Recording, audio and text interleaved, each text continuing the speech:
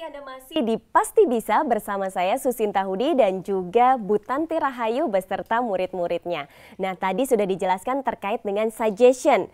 Bagi Sahabat edukasi yang sudah memiliki pertanyaan langsung saja telepon ke line telepon bebas pulsa kami di 080014030046 atau bisa langsung WhatsApp dan juga SMS ke 081804403046. Tayangan ini dapat sahabat edukasi saksikan melalui YouTube channel di Televisi Edukasi.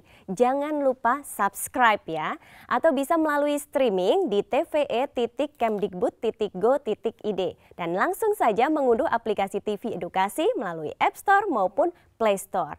Nah, kita akan nambah lagi nih teman untuk berdialog ya. Saya panggil dulu Fadia. Dia adalah juga murid ibu ya dari SMK Negeri 8 Jakarta. Silakan duduk di sini ya, dekat-dekat dengan saya. Iya. Iya. Nah, kita sudah tambah lagi temen nih. Jadi nanti dialognya bisa gantian ya. Kayaknya akan ada dialog nih ya, Fadia dengan Ziva. Ziva, oke silakan. Listen, this week you want go to up to the mountain. So where do you go? The plan is we will go up to mountain of Guntur. Wow, that sounds exciting. So who is it? Me, Lydia, Fatul, and his friend Fatul. If I come, that's fun. Huh? Is it that you can come, right? No, I can because it's not permitted by my parents? Well, even though many of you can follow this trip, it's definitely more exciting. Yes, even though I had imagined that I would to join. No problem, there are still times. But I still want to join you. So, why are you not allowed to follow this trip? Maybe it's too dangerous and risky. If you come with me, surely this trip will be far more exciting. I hope like that. Sure, we can go we can go together later. I have been waiting to go up to the mountain for a long time. It's okay, still can be another time. Okay. I hope your trip it will be safe. Thanks, Ziv. Hmm, I think we better talk about other things. Yes, good idea. Baik, itu dia dialognya cukup panjang ya iya. antara Ivana dan juga Fadia. Fadia. Oke, kira-kira dari dialog dialog ini nanti kita bahas karena ini ada tayangan lagi nih terkait dengan dialog Betul. lagi ya. Okay. Mari kita saksikan dulu tayangan berikut ini. Hey guys, come look what I've got here. Wow, have you tried it, Ray? I have.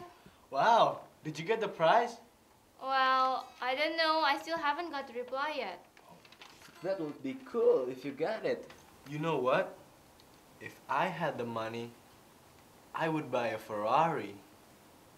Yeah, this is so cool. I wish I got the money so that I could have a big room filled with bases. Oh my god, great! I can play bass whenever I like. what about you, Ray? What would you do if you won the money? Ah, I would buy many books and build a library for the poor. Oh, I love this place. Nah, dialog itu terkait apa? Kayaknya mereka ber, bermimpi Masih ya. bermateri masalah uh -huh. uh, if clause atau if a conditional sentence. Okay. Kembali kepada soal-soal SMK dan materi SMK, materi if clause atau conditional sentence juga ada bagian dari KD-nya 3.27 pada if clause seperti itu. Uh -huh. Jadi a conditional sentence is the sentence uh, that express a condition. A condition is something that can uh, con only happen if something else occurs. Jadi uh, bisa terjadi kalimat ikhlas pengandaian. Ini kan ikhlas itu pengandaian ya Mbak ya. Mm -hmm. Pengandaian itu akan bisa terjadi jika persyaratannya dipenuhi atau terpenuhi seperti mm -hmm. itu. Oke, itu terkait dengan tayangan yang baru saja kita saksikan. Kalau mm -hmm. dialog antara Ziva dan juga sama antara Ziva dengan mm -hmm. uh, Fadia. Fadia juga tadi seandainya dia mendapatkan izin untuk bepergian mm -hmm. atau orang tuanya mengizinkan dia untuk pergi, maka dia akan pergi seperti itu seandainya. Mm -hmm. Jika tidak diizinkan, dia tidak akan pergi seperti itu karena pengandaian seperti itu. Oke, if clause itu berarti pengandaian dan Iya. tentunya ada syarat-syarat yang harus Betul. dipenuhi. Nah, ya. tipe-tipenya untuk conditional sentence itu ada eh, tiga tipe, bentuk tipe pertama, kedua, dan ketiga. Untuk Nah, lebih pertama. jelasnya, mungkin kita bisa melihat contoh soal yang ada di soal kita kali ini, Mbak. Nah, Seperti itu. kita ada contoh soalnya. Ini Ivana, eh Fazahra, saya ketukar-tukar nih namanya. Fazahra belum baca nih ya. Kita kayaknya suruh Fazahra untuk membacakan dialog Oke, ini. Ditodong. Zidan dan juga Fadli. Iya. Oke. Who wants to be Zidane or Fadli? Uh, saya uh, aku Zidan ya. Kamu Fadli. Oke, silakan. Did you join the study tour program? If my parent had given me permission, blah blah blah. It was pity. The program was very useful. Oke, bisa dibacakan untuk pilihan jawabannya. Oke, saya yang bacakan ya. A. I will join it. B. I will join it. C. I would have joined. D. I would have joined it. Oke, kira-kira jawabannya apa ini? Eh, Fadia bisa menjawab? I think the answer is C. C. Iya. Apakah betul, Bu? Iya, dari soalnya mari kita lihat sama-sama. Kita langsung aja ke pembahasannya. Conditional sentence kalimat pengandaian merupakan salah satu pengungkapan dalam bahasa Inggris, di mana soal UNBK banyak sekali terdapat soal conditional sentence ya Mbak Sinta ya. Untuk menyatakan hal tersebut diharapkan eh, diharapkan atau diandaikan terjadi pada if clause terdapat tiga bentuknya dalam pengandaian. Yang pertama adalah if eh, verb 1 lalu ketemu dengan will pasangannya dengan eh, verb 1. Jadi itu bentuk present dan present bertemu dengan future. Yang kedua polanya adalah verb kedua plus eh, eh, objek lalu would atau can maka dia verb ke ditambah verb ke satu. Yang ketiga had verb tiga maka dia bertemu dengan would have verb tiga. Jadi kembali ke tipe pertama verb satu kita eh, mengingat kembali bentuk simple present time maka ketemu dengan will atau modal dalam bentuk pertama itu namanya bentuknya future time. Nah seperti itu. Kembali ke dalam eh, eh, soal yang tadi ya, yang sebelumnya kita lihat dulu soalnya sebelumnya. Nah, os yang soal sebelumnya ya Mbak ya, yang Oke, pertama. soal yang Zidan dan juga Yes, Fadli ya. Iya, soal yang tadi Zidan dan Fadli. Nah, seperti ini. Dari did you join the study tour programs? If my parent had given, ini adalah past perfect. Had ketemu given. Had adalah given adalah verb bentuk verb ketiga. Maka ketika past perfect pasangannya adalah past perfect future. Berarti would have verb tiga. Dari A ini kan bentuk yang pertama karena dia future. Yang kedua adalah bentuk kedua, dia tipe kedua. Maka yang C adalah bentuk ketiga. Kenapa? Karena pada had given lakinya menandakan bahwa soal tersebut adalah bentuk tipe yang ketiga. Maka jawabannya yang benar adalah C. Seperti Yang itu. benar adalah C ya. Benar nih jawabannya Fadia. I would have joined.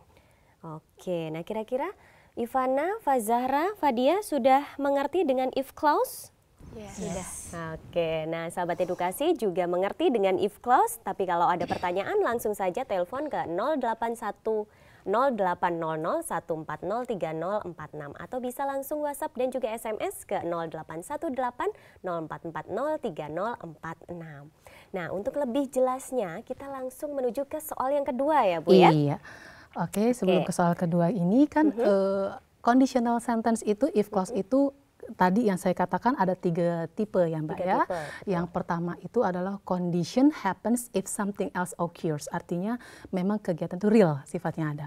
Yang kedua expresses impossible situations. Makanya dia bentuknya eh, verb kedua atau past tense ketemu dengan eh, past eh, past future. Yang ketiga adalah expresses unreal past event. Jadi past perfect ketemu dengan past perfect future seperti itu. Jadi kalau kembali ke polanya adalah eh, present ketemu dengan future, presentnya adalah verb ke pertama ketemu dengan will verb pertama. Yang kedua past verb kedua ketemu dengan would verb, eh, verb pertama. Yang ketiga had verb tiga ketemu dengan would have verb ketiga seperti itu.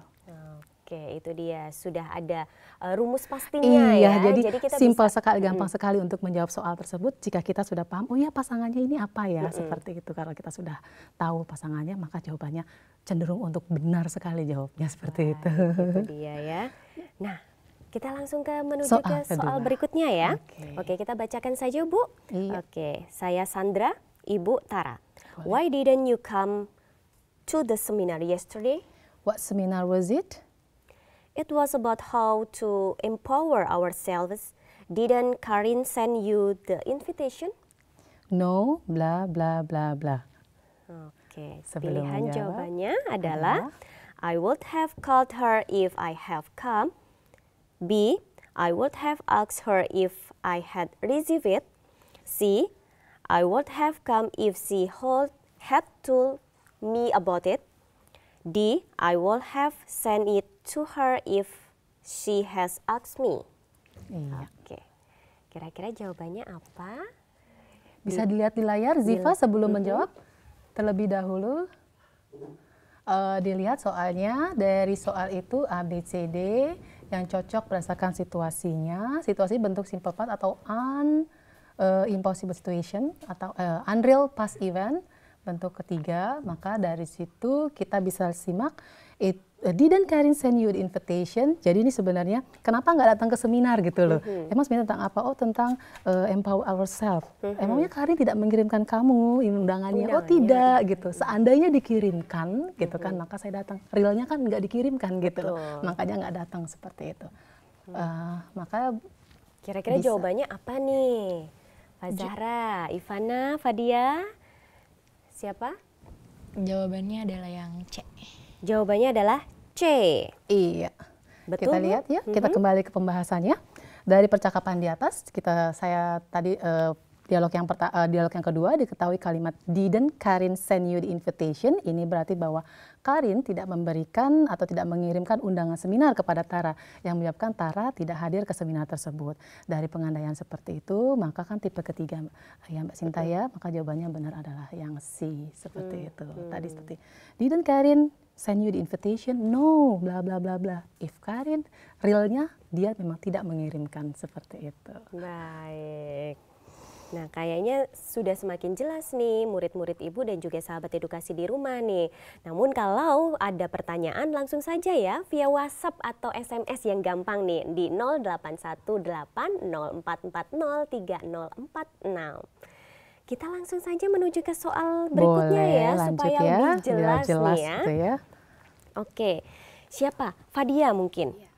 Oke, sebagai Fikri. Look at you, you look different in that outfit. Blah blah blah. You look younger and stylish. Oke, are you serious? I'll do it this afternoon. Oke, itu adalah dialog antara Fikri dan Ajeng. Untuk pilihan jawabannya, E. if you had cut your hair. B, if you cut your hair shorter. C, if you bought some new clothes. D, if you took me to the barber shop. Kira-kira apa Gantian, jawabannya? siapa yang menjawab? Ya, Ivana atau Fazahra? Aku. Ya, apa Fazahra? Jawabannya adalah? Jawabannya adalah B.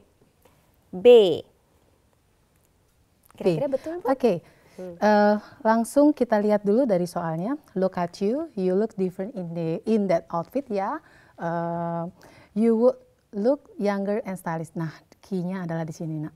You would look younger and stylish. Berarti ini masuk ke tipe kategori if clause bentuk keberapa? Pertama, kedua, atau ketiga seperti itu. Jadi uh, akan terlihat uh, terlihat uh, di soal ini jika pasangannya dia simple past, maka pasangan uh, uh, jawaban clue-nya adalah past future. Mm -hmm. Jadi karena di sini adalah you would look younger itu mm -hmm. past future, maka dia jawabannya you cut. Cut itu kan uh, di sini maksudnya adalah simple past gitu. Mm -hmm. Jadi maka benar jawabannya adalah B seperti B. itu. Atau kita langsung ke pembahasannya. Nah, seperti itu. Jadi keywordnya dari percakapan di atas, kalimat you would look younger and stylish itu adalah kategori if clause tipe kedua dari pasangan itu, maka bentuk dari past tense pasangannya past future atau would verb pertama seperti itu. Oke. Jadi benar jawabannya dia. adalah B.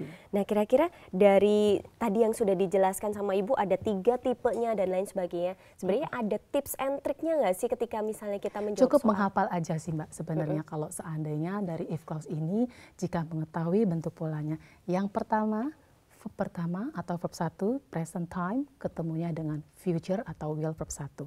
Yang kedua, simple past atau verb kedua, maka dia pasangan dengan would verb satu dan yang ketiga had verb tiga pasangannya menjadi would have verb tiga seperti itu. Jika sudah tahu polanya seperti itu, tidak akan nyasar seperti Hmm, pasangannya nggak akan seperti itu. nyasar kalau udah tahu rumusnya ya. Iya.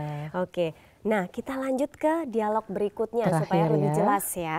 Oke, Ardan dan juga Renita. Saya Ardan, Ibu Renita ya. Boleh. Are you coming to the conference tomorrow? I'm not sure yet. A client wants to meet me, blank blank. I will attend the conference. Oke, pilihan jawabannya adalah A. If you cancel the appointment. B. If he really needs to call me. C. If he comes immediately. Oke. D. If he have enough time. Oke, untuk eh, yang lainnya yuk kita lihat di layar monitor. Sini mari kita bahas bareng-bareng. Kita lihat grup pasangannya adalah key-nya apa? Coba di sini ada I will attend. Nah, ketika ada I will attend itu adalah bentuk dari future time, will verb 1. Pasangannya atau eh, dari bentuk pasangan verb pertama ini apa atau tipe pertama ini apa? Maka dia adalah present time. Ketika present ciri-cirinya adalah kata kerja bentuk pertama. Maka jawabannya tepat adalah yang A.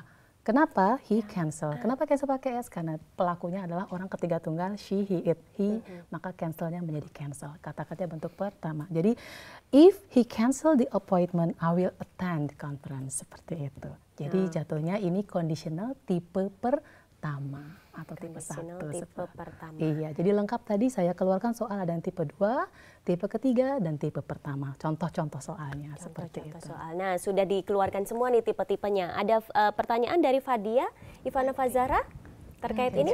Tidak ada. Sudah jelas semua ini Bu. Sudah jelas semua terkait dengan if clause ya. Kira-kira eh, ada trik Syukur, and tripnya lagi? Tadi sudah saya jelaskan. Sudah dijelaskan lebih lanjut. Oke, kita istirahat dulu ya Bu ya. baik. Dan sahabat edukasi, jangan ke mana-mana. Kita akan kembali lagi bersama Ibu Tanti Rahayu dan saya Susinta Hudi.